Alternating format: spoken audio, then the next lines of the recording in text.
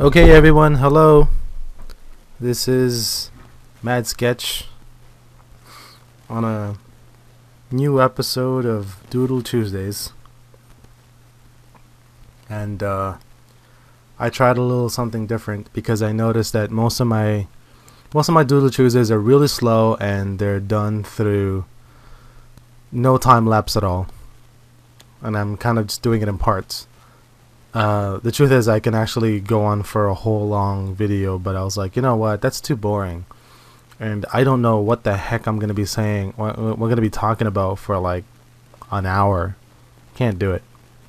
So, what I figured was to do a time lapse and try to cover something pretty basic. Um, this is also another, the other kind of purpose for this drawing too was that I'm doing a character design for a short uh, a kind of a short film that I'm trying to do, but what my thing, what I think, what I thought would be in- interesting was actually have a full on, you know, kind of a documentation of the designs and you know maybe showing a little bit of the shots and stuff. So maybe we're doing some behind the scene devs happening and to kind of get the buzz kind of going because the internet works differently as opposed to like how you would you know put out a put out a video like back in the day. Um, I mean, partly it's it's kind of it's kind of different because I had this idea of kind of putting out behind the scenes first, kind of like how game developments are done through indie the indie route where people kind of show what they're doing and what they're working on and stuff and um, it's just kind of a good thing for me. It's this is my own little project uh, I talked to some of the stunt guys already, and uh, they kind of inspired me to kind of try out this new, um, well, to try out all the new, the new technologies and stuff that we're gonna do, and you know, based on their idea, I think it could work. Um, their idea meaning the fight scenes that they wanted to do, but in terms of the characters and the storylines and stuff, I'm gonna come up with it, and yeah, it was pretty cool. Like what they can do is amazing. So I'm kind of just excited to film all this stuff. Uh, by filming, I mean I actually don't mean filming. We, we're gonna CG the whole thing, and it's all gonna be done by, not all. uh, it's it's my project, but uh, I'm gonna try to, I'm gonna try to get a get a lot of guys involved in it. So I'm gonna get a lot of help from my friends, my friends uh, yeah, so this character is going to be very uh, agile, going to be very quick, and uh, I don't remember if I have a name for it yet. I think the guys gave him a name, but I could be wrong. Um, I wanted to give him a lot of tattoos. The funny thing, you know what? The funny thing is this this video is not even going to be done. Uh, even if I'm if I've time lapsed it, I only have about 10 minutes or so into this whole thing and it's still not enough. Like he still has a long way to go. So you know we're gonna see the the build up of this character from the ground up. So right now, we're just working on his face. Uh, I have some brushes for the hair and stuff. Uh, I gotta say I I miss I miss uh, doodle doodling on Photoshop and Doodle Tuesdays. Uh, I, I I love being able to put up content on YouTube and and stuff, and people actually go and re- uh, watch it. It's I never really knew what I was what I what I was why I was doing this, and you guys kind of gave it a reason. So I hope that it kind of grows so that I can continue doing it without having to, you know, worry about other stuff. I love this hairbrush. Uh, just because, and it's pretty convenient. But the effects really uh, show up like instantaneously. Like you know, you know, you're you're pretty much doing like five lines at the same time, but because it is shrink to like the the the size on the pen pressure and stuff uh, is on, it kind of gets that more natural effect too. Um, if you have any problems with anatomy, I would suggest, and something you know, like a, some you're looking for something a little bit more creative.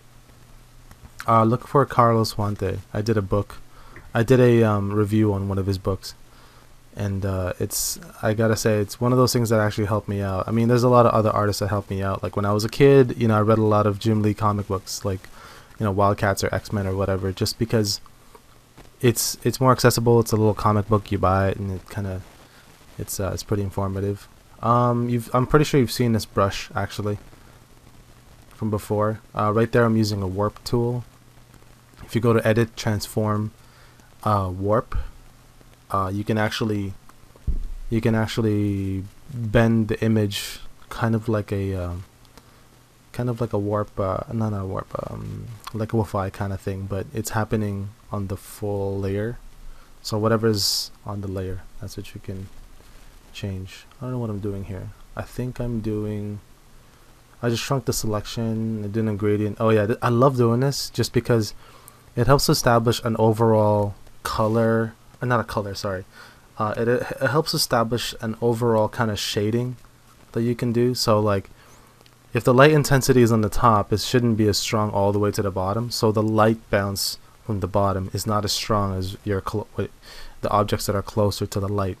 So, um, you know, from 3D objects that I use when I do lighting and stuff on 3D, I kind of use that idea. Um, I, I probably will do this again later on when I'm closer to being finished on my coloring because of the fact that uh, things change and my eyes would probably start because if I'm focusing on the feet, I would start actually shading it accordingly, and that's you know. So I'm kind of like erasing what I just did, but you know, it's not. It's kind of accepting human error. I mean, you know, you're like, oh well, you know, my mind wants to do this, but I'll correct it later. Because then later on, when you pull back, you see the whole character. It's there. So it's kind of like learning mistakes, like um, living with your mistakes and stuff, and and not having to plan everything and then suddenly you take forever to, to do anything before you can get it done but this is kind of like you know sticking to that traditional style where it's like you drop paint there you can't just like undo it i like that idea that you just kind of accept whatever you're putting on there so that you know you're smarter next time when you start applying paint and not just be you know must be like doing putting whatever like you see what it can do already like this is sort of an accident. Like I see that the effect that the paint is doing on the darker stuff. So what I would actually put that color on some of the darker stuff, which would mean it makes it go lighter, but then later on you just darken it up, but it still mixes the effect. You're kind of like mixing the color with the darkness shadow now. You know, my coloring technique is not exactly built off of like the old um, traditional paintings per se, but you know what I see in my what what I see with my eyes, that is pretty much enough for me. You know, like that's that's good enough for me, and I just stick with it. I'm pretty sure there's a bunch of other artists that can do that have better um, techniques, but uh, no, this one works for me. I just like, and from uh, right now, this is kind of like a rough design. Um, this character is meant to kind of do a lot of flips and a lot of running and uh, a lot of complex martial arts and stuff but he's also going to be doing a lot of like really impactful kind of movements like big you know serious punches or something very dramatic so i wanted wanted to be able to show his arms and stuff and instead of dressing him up i was just i'm i'm, I'm planning on putting a lot of tattoos on his shoulders and his biceps and stuff um, part of my inspiration for his idea like for the idea for this guy because i'm right now you're not going to see a lot of um, tattoos, but you'll see it later. A lot of his tattoos are going to be kind of, it's to be on both arms. So basically, it's kind of like, uh, what is, what's his name? From uh, wrestling. Um, that does uh, uh, Randy Orton. Randy Orton's tattoos are pretty cool. So I just thought I wanted to try and kind of mimic the same look. Not the exact same thing, but like the idea that it's his tattoos are pretty much his sleeves and it kind of seeps from his like shoulders almost to his pecs and stuff and i thought that was really really cool and very kind of creepy so i just thought you know it'd be really cool if we did it on his arms so i'm gonna do a whole bunch of tattoos on him and this is kind of cool because i kind of used the wrapping of that the thing that i just did to actually add to it and also you know, punch it up and it's kind of there so it's a little bit of depth. Anyway that's it from me. Uh, I will do some more next time okay? Hope you guys learned something. Peace